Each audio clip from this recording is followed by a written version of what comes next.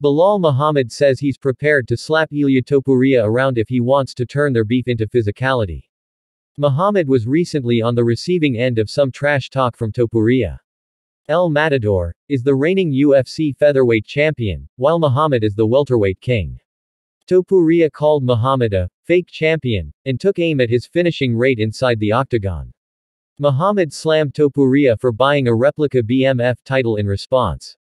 During a recent edition of Remember the Show, Belal Muhammad opened up on his beef with Ilia Topuria. Muhammad dismissed Topuria's trash talk, and suggested the 145-pound champion eats some open palm strikes.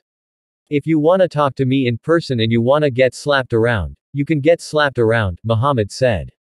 For myself, it's fun to talk trash to these guys, but for Ilia, it's fun because he thinks he's good at trash talking but he's not.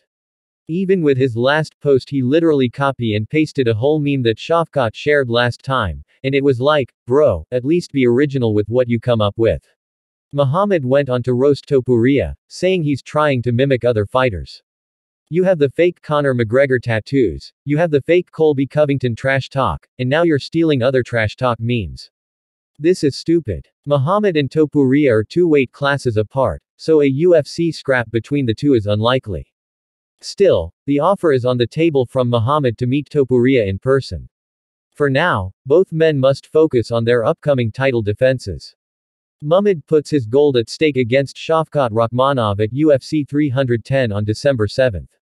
Topuria defends his title against Max Holloway in the main event of UFC 308 on October 26.